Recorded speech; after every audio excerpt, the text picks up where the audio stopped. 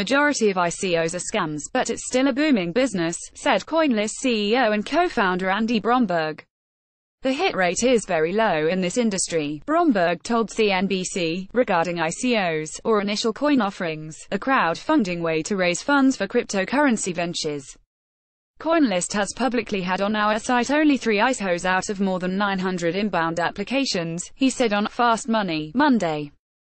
His company, CoinList, is an online platform that guides token creators through the ICO process while helping investors determine which ICOs are legitimate. ICOs, a still unregulated means of raising money in its modern form, Bromberg said, have been around for less than a year and thus are an attractive way for startups to raise capital while bypassing regulations. As the value of cryptocurrencies like Bitcoin took off in 2017, ICOs became increasingly popular. But even as major cryptocurrencies like Bitcoin have plunged, ICOs continue to gain speed.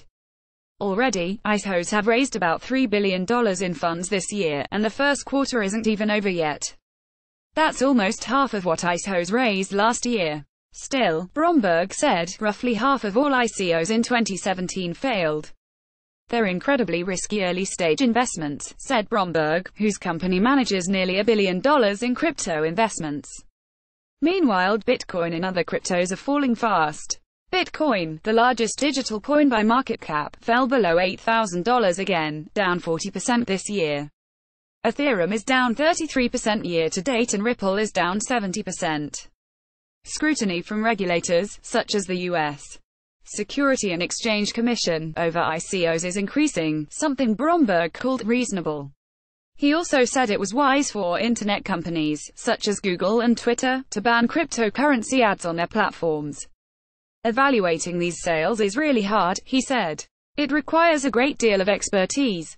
That's expertise that very few people have because the ICO industry is so new.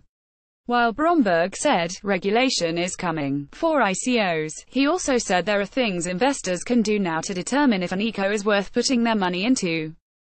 This includes evaluating the integrity of the company, the technical team and what products the company has built in the past.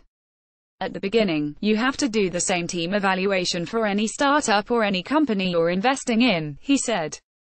And that's really what helps you determine if a sale will help you finance a company that builds something meaningful, or if they're just raising money for the sake of raising money and going to run away with it.